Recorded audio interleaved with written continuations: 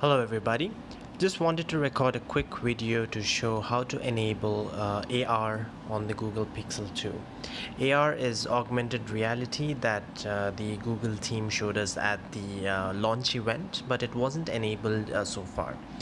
So uh, as you can see here on my phone, I have updated uh, the Android operating system to the latest and greatest Android 8.1 Oreo once you have this update all you need to do is go to the Play Store and uh, you have to search and update these two apps. One is AR stickers and the next one is AR core.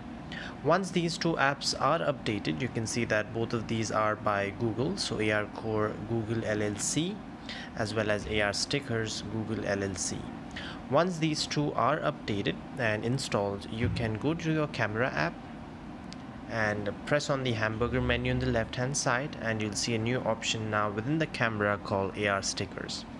Now this is Google's augmented reality uh, app uh, which is very nice very intuitive and very interactive. So just for an example I can place this little bird on the bed here.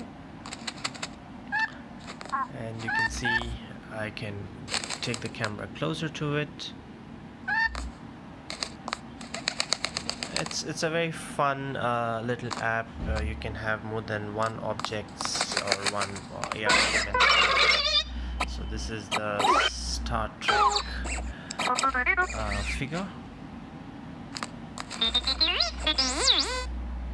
of course uh, since this uses a lot of resources uh, this drains your battery a little. Uh, hopefully Google will give us some kind of an update to take care of the battery consumption on this. But uh, as a start it's a fantastic way to explore augmented reality and see what it has to offer.